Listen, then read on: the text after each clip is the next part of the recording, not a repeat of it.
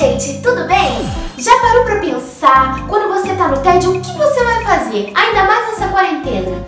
Bom, uma das coisas que as pessoas mais gostam de fazer é ler livros. Se esse não é o seu passatempo, sinto muito, amor. Realmente sinto muito porque você, você não está preparado para esta conversa. Mas então, pra você que gosta de ler, você clicou nesse vídeo, provavelmente você gosta muito de ler. Hoje eu vou recomendar top 10 livros que eu já li, os melhores que eu já li. Se você tá ansioso para esse vídeo, deixa o seu like, já clica no gostei e se inscreve aqui no canal. Bora lá?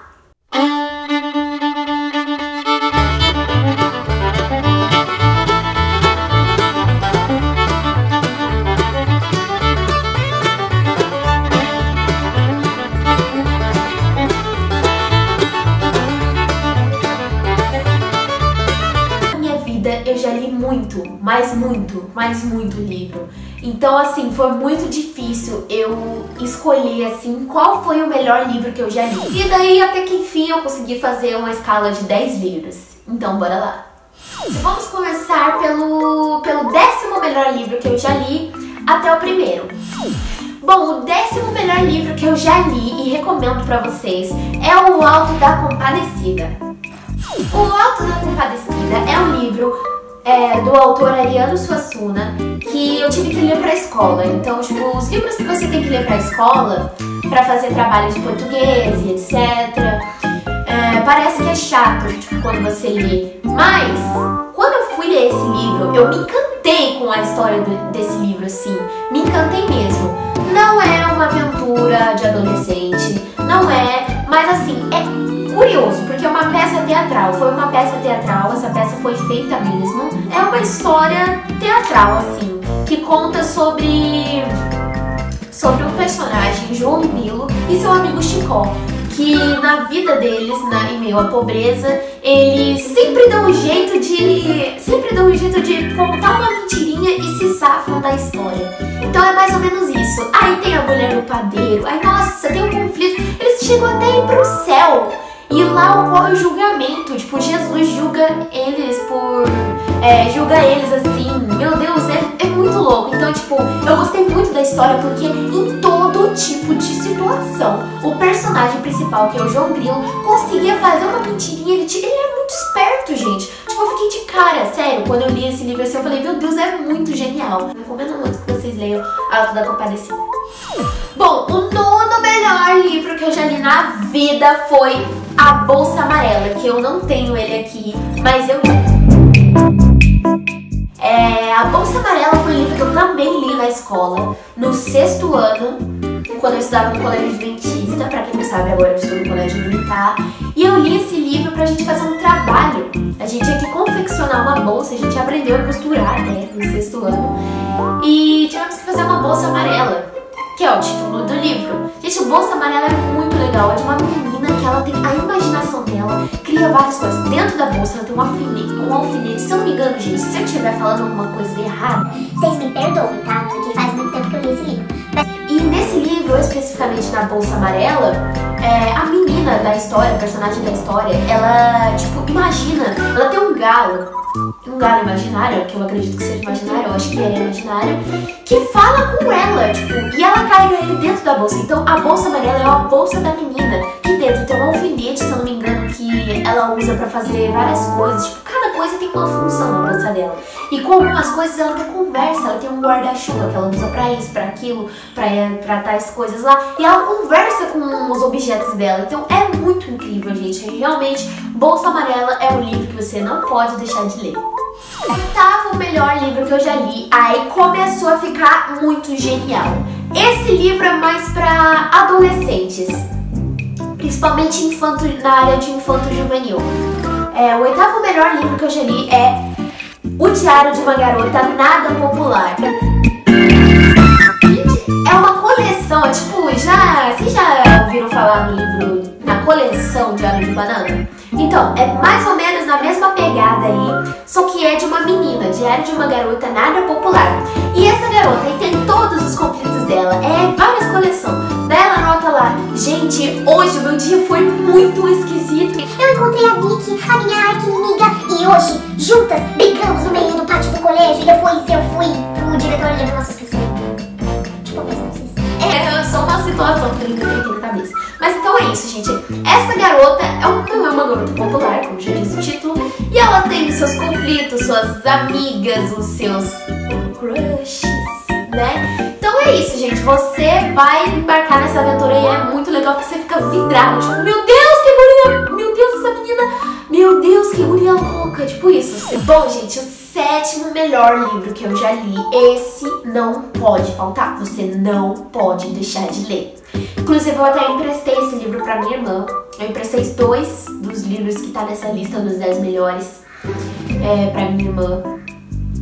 E, gente, esse livro se chama O Extraordinário. Gente, esse livro é incrível. Tem até o filme, gente. Se vocês não assistiram esse filme, assistam a ele. O Extraordinário. Tem um filme e tem um livro. O Extraordinário conta de um garoto que tem alguns problemas faciais, né? Ele tem alguns probleminhas, mas e sobre a vida dele, o bullying que ele sofre, as circunstâncias que ele sofre. Tipo, é uma história linda, sabe? Tipo, se vocês assistirem o filme, vocês vão entender o livro. Ah, Milena, só fica nisso, nas situações de um garoto que tem certos problemas, mas é um garoto normal, gente. É um garoto normal, como todos os outros. E daí aparece o bullying que acontece, a escola, se ele tem amigos, será que ele tem amigos, gente? Então, é, gente, a história é incrível, eu cheguei até a chorar quando eu vi o filme. Gente, assistam o filme, O Extraordinário. Se não me engano, tem uns três livros é, dessa coleçãozinha, Extraordinário. Mas o principal mesmo é esse, O Extraordinário, gente, é maravilhosa a história, você vai se arrepiar todinho. Bom, o sexto melhor livro que eu já li esse daí, gente, é popularmente conhecido, né? Pelo amor de Deus. Todo mundo já viu praticamente, já assistiu o filme, que foi inclusive até dublado pela Larissa Manoela, uma das personagens. Qual que é? O Pequeno Príncipe, né, meu amor? O Pequeno Príncipe. O Pequeno Príncipe é esse aqui mesmo, gente. Tem várias versões de capa do Pequeno Príncipe.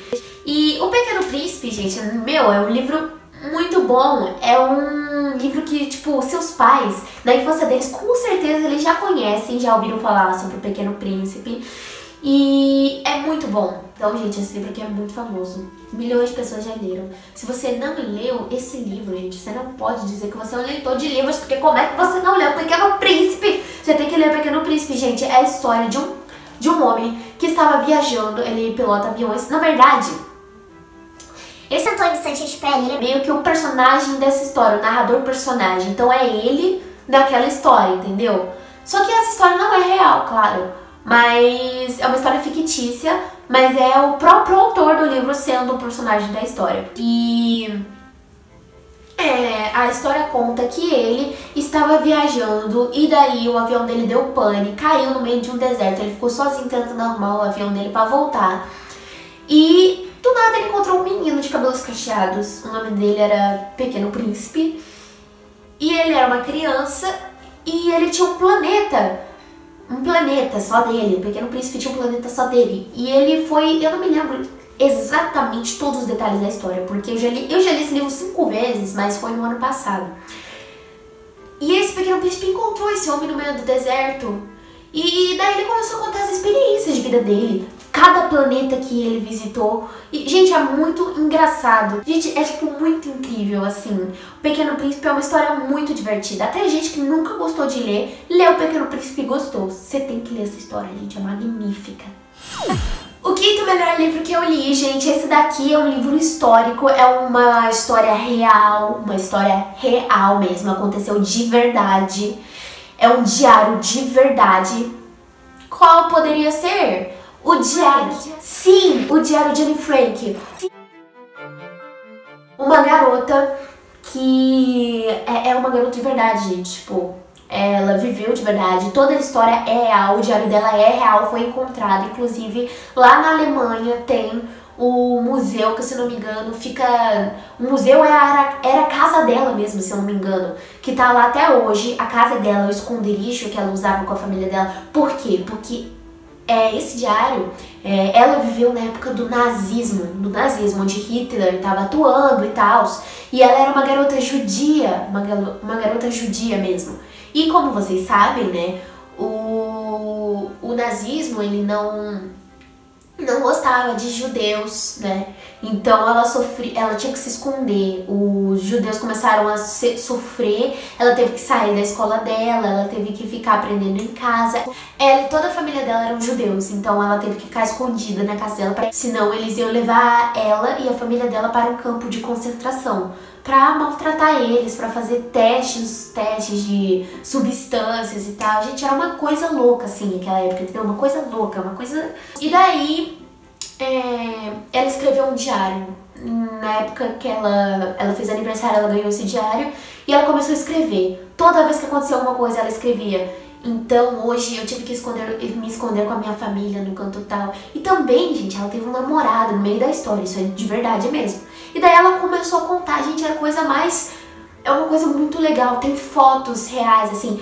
É, o Diário de Anne Frank, que é esse aqui que eu tô mostrando, eu tenho, inclusive, só que emprestei pra minha irmã. E tem fotos reais da família dela com ela nesse diário aí. Então, gente, assim, é uma história muito incrível. Então vale a pena você ver e ler é, e ler esse diário, gente, porque é muito incrível mesmo. Não é diário fictício, é diário real. E você vai ver, gente, que vale muito a pena ver ele. Bom, gente, o quarto melhor livro que eu já li está em minhas mãos. É uma coleção Sherlock Holmes, galera. É Sherlock Holmes. Eu já li, gente. Pra, você já deve ter ouvido falar de Sherlock Holmes, porque ele é um personagem muito famoso. Foi feito pelo Sir Arthur Conan Doyle. É, o senhor Conan Doyle, no caso, né? É, gente, eu fico... Gente, ele escreve histórias. O Sherlock Holmes, na verdade, é um detetive, né? Um detetive muito famoso é, que tem como um aliado, né, uma pessoa que ajuda ele sempre nas investigações que ele faz, que é o Watson, é o Dr. Watson, ele é médico. E, gente, o Sherlock Holmes, tipo, na história dos detetives, ele é o melhor detetive que já se viu na história. Porque ele só de olhar pra você, ele já sabe tudo que você fez. Se você lavou o rosto hoje, se você tocou em alguma coisa suja, se você se você tava sentado no carro e amassou sua roupa. Gente, ele sabe tudo, tipo, tudo, tudo, tudo, tudo, tudo. Pior que essa história é fictícia, né? Não, não existe, nunca existiu um detetive tão bom como Sherlock Holmes, gente. Porque isso aqui, às vezes eu fico pensando que não é nem Sherlock Holmes que é o melhor detetive, é o próprio autor do livro. Porque como é que o autor do livro conseguiu escrever cada detalhe, imaginar cada tipo de situação, desvendar os mistérios, né? Escrever o Sherlock Holmes desvendando os mistérios. Eu acho que o próprio detetive era Arthur Conan Doyle mesmo, não era nem o Sherlock Holmes. Porque pra ter uma ambiente dessa escrever uma história assim, eu não sei nem quem poderia fazer isso, né? O terceiro melhor livro. Gente, eu não podia, eu não podia deixar essa lista sem esse livro, essa coleção de livros aqui, né, gente? Porque, meu Deus do céu, gente. Sem essa coleção de livros aqui não daria certo. Não daria certo. Eu não podia dizer que eu sou uma, não sou uma leitora de livros infanto-juvenil. Gente, o terceiro melhor livro que eu já li, coleção de livros, né? É Diário de um Banana. Diário de Banana. Gente, Diário de Banana é um livro muito engraçado. Muito engraçado, mas muito engraçado. É a mesma coisa que o Diário de uma Garota Nada Popular, mas é super, super 10 mil vezes mais engraçado. Se eu não me engano, já tem até o 14 livro. Tipo, eles estão lançando todo ano, porque ele tá sendo um livro muito lido. Em todas as bibliotecas você vai encontrar o Diário de Banana, entendeu? É, na biblioteca de colégios também, inclusive, você vai encontrar algum livro sobre o Diário de Banana. Gente, as ilustrações são muito engraçadas. É de um menino chamado Greg, que ele é muito louco e retardado na cabeça, porque ele é muito burro. E ele se envolve em várias tretas, em várias coisas engraçadas. No colégio dele, gente, é cada situação engraçada. A mãe dele, gente, meu Deus, ele tem um irmão que atazana ele, gente. Isso, nossa, esse livro é muito engraçado. O meu pai, inclusive, já leu alguns livros do Diário de Banana e ele adorou. Gente, é muito engraçado. Você vai se rachar de ler. Uma coleção de, eu não sei coleção de quantos livros, porque eu li até o décimo décimo segundo livro, né? Saiu 13, saiu 14, se eu não me engano, mas eu não li ainda, gente. Eu tô desatualizada, tenho que correr atrás pra ler logo. Gente, eu não sei, eu não tenho nem o que dizer. Esse livro é muito engraçado, vocês vão se rachar de... de... O segundo melhor livro que eu já li, gente, é esse aqui. Pra você que é cristão, pra você que quer ler um livro infanto-juvenil cristão, que não tem muita aquela parte teórica de Bíblia, tipo, tem meio cristão, mas é um livro mais para adolescentes. É esse, gente, eu não tenho nem palavras. Esse só não é o primeiro, esse ia ser o primeiro da lista, mas não é o primeiro porque depois eu falo pra vocês qual que é o primeiro já, que é uma coleção também. Mas, gente, Lucy. Lucy é o livro da, Nancy, da autora Nancy Rui, lá dos Estados Unidos, eu não sei, acho que é Nancy Rui, lá dos... Eu não sei se ela é dos Estados Unidos ou se ela é... Deixa eu ver. É, ela mora nos Estados Unidos agora. Gente, esse livro aqui é incrível. Vou ler a parte de trás pra vocês. Toda menina gosta de cor de rosa, blusa rosa, batom rosa, esmalte rosa, bolsa rosa. Mas Lucy não. Ela não é uma garota comum, que gosta do que todo mundo gosta e faz o que todo mundo faz. O mundo dela não é cor de rosa. Ou seja, ela não é uma garota popularzinha, ela não é uma garota normal. Gente... Popular não é só porque você gosta de rosa que você é menina patricinha e falsa. É mentira. É só uma, um modo de dizer. Aí, ó, crescer sem a mãe, com a responsabilidade de cuidar de casa do pai, é muito difícil para a menina. Mas Lucy tira isso de letra e passa por cima de qualquer problema, pois sabe que pode contar com a ajuda de Deus para tudo.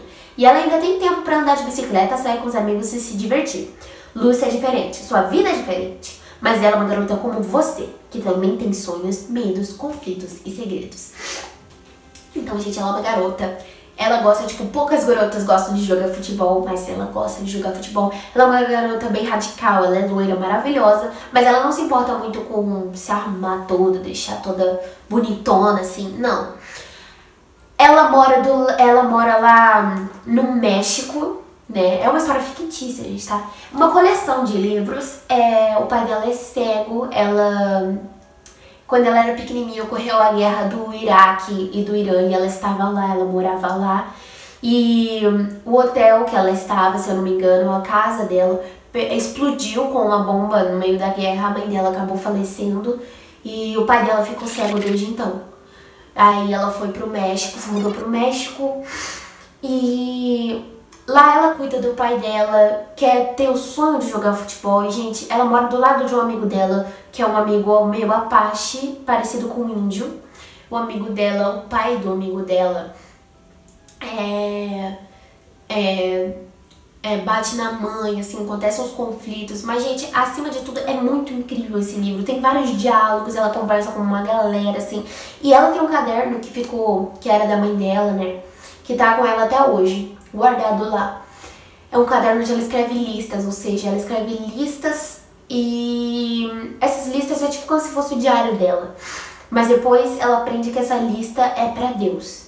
Então ela bota lá, tracinho e escreve: Se pelo menos hoje eu pudesse ter um dia mais feliz, e coloca assim, entendeu? Ela faz listas naquele caderno, inclusive eu até fiz um caderno de tanto que eu gostei desse livro. Gente, esse livro é extraordinário, você tem que ler ele, gente. Inclusive até tem um caderno que eu fiz, ano retrasado, listas para Deus também, seguindo o exemplo dela. Então, gente, não é só esse livro, esse aqui é só o primeiro, Lúcia Detesta Cor de Rosa. É, mas tem uma coleção de livros. E, gente, eu recomendo muito, mas muito que vocês leiam esse livro, porque é demais mesmo. E chegamos ao primeiro melhor livro barra coleção de livros, gente. Vocês estão vendo essa pilha aqui? Então, é uma pilha de livros apenas para quem gosta de ler mesmo. Se você já leu livros como Harry Potter, por exemplo, Harry Potter também tem filmes, eu gostei muito dos filmes. E se você gosta, é na pegada assim, se você gostou de Harry Potter, você vai gostar de ó, Desventuras em Série. Tem até série na Netflix desse livro. Desventuras em Série. Pesquisa lá na Netflix que você vai achar. Desventuras em Série. Gente, este é o melhor, melhor coleção de livros que eu já vi. São três, três crianças que ficam órfãs porque a casa delas pega fogo. E aí, pra onde será que elas vão? Elas têm que encontrar um tutor pra elas. Klaus, Violet, Sunny são três crianças que ficam órfãs e elas agora têm que achar um tutor pra elas. O primeiro tutor é o Conde Olaf. Mas o que acontece? O Conde Olaf é um homem muito mal, mas muito mal, que quer roubar a fortuna deles. Que fortuna! Quando os pais dela, deles morreram, deixaram uma fortuna enorme para eles, porque eles já eram ricos, né? É, eles tinham uma mansão e tal. E daí o Conde Olaf quer roubar a fortuna deles. E o Olaf, nossa, aí tem uma organização por trás de tudo. Por que a casa deles pegou fogo? Quem botou fogo na casa? Será que é alguém que está envolvido com essa família? Será? E a história toda, os livros todos, eles passam de tutor para tutor. Por quê? Porque alguma pessoa está correndo atrás do tutor e está eliminando eles do caminho. Por quê? Por que será? E esse Conde Olaf é um homem muito perverso, atrás da fortuna dos, dos irmãos Baudelaire, que são esses três, né? O Violet, o Klaus e a Sunny.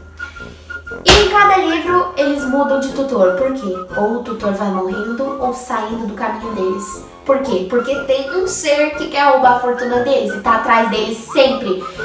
Este homem é ator em todos os livros, ele corre atrás, dá um jeito de se disfarçar e corre atrás para pegar essas crianças e quando a irmã mais velha, que é a Violet, atingir a maioridade, ele vai roubar a fortuna deles. Vai tentar roubar, né? E como é que é isso, gente? Como é que é isso? Quem é esse personagem? É o Conde Olaf, gente. O Conde Olaf.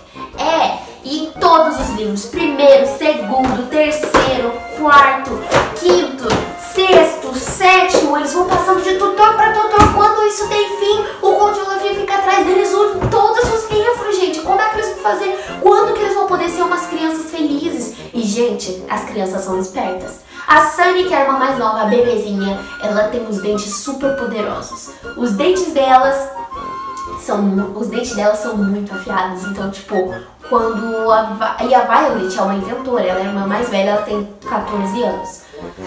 E ela tem 15 anos, na verdade é 15 ou 14. É. E ela é inventora, ela sabe inventar coisas. E quando ela precisa, Sunny, eu vou precisar fazer uma invenção tal, eu preciso que você destrua essa pedra pra mim. Dá a pedra pra mim, na menina rói tudo. Gente, eu não entendo. A menina tem superpoderes. Eu queria saber bem ter esses poderes que ela tem assim também, né? Gente, o Klaus, que é um menino de 12 anos, ele é um leitor, ele conhece tudo sobre livros, tudo, tudo, tudo, qualquer coisa. Quando a Violet pergunta, Klaus, você sabe qual é o significado dessa palavra tal? Ele já responde. Então ele é o cérebro da coisa, entendeu? Então esses três irmãos, como eles vão se fazer para sair de cada armadilha que o Conde Olaf coloca no caminho? Essa é a questão. Leia Desentonas em Série e assista a série na Netflix. Você não vai se arrepender. Então é isso, galera. Você gostou das minhas indicações? Então, se você gostar de um desses livros, gostar mesmo, quero ver você pegar esse livro ou da biblioteca ou se você comprar ele, pegar qualquer um desses livros que eu coloquei nessa lista dos top 10, você tirar uma foto dele, postar no seu Instagram, contar um pouco sobre como está sendo a sua experiência de ler esse livro em plena quarentena e me marcar lá no Instagram também, Milena Oficial. Milena Oficial no Instagram, me segue lá, inclusive se você não me segue, me segue lá. Se inscreve aqui no canal, deixa o seu like. Gente, nessa quarentena não vamos só ficar na internet, bora ler, bora ler. Mas Milena não gosta de ler, não sabe o que tá perdendo, não tá preparado para essa conversa. Se você não gosta de ler, meu filho, então zapa, porque você não sabe. Gente, ler desenvolve sua capacidade para escrever. Você não tem mais erro de português quando você lê. Gente, é uma série de benefícios. Gente, ler é como você tá assistindo um filme, só que você tá lendo. Gente, essa preguiça que vocês têm de ler aí, eu não entendo mais nada, viu? Essa preguiça de ler que vocês têm. Inclusive, se vocês estão tendo um filho agora, um filho bebezinho, estimula ele a ler. Porque foi isso que meus pais fizeram. E graças a Deus, eu adoro ler hoje em dia. Então, gente, ó, se você não gosta de ler, não era nem pra você estar tá assistindo esse vídeo, né? Mas se você já chegou até aqui, pensou um pouquinho, olha, eu acho que eu vou dar, tentar dar uma lidinha nesses livros. Então, gente, deixa o like aqui, deixa comentário, se inscreve aqui no canal. Também não se esqueça de dar uma checada nas minhas redes sociais. Instagram Milena Oficial, Facebook Milena Oficial e Twitter Cantora Milena OF. Beijão, galera!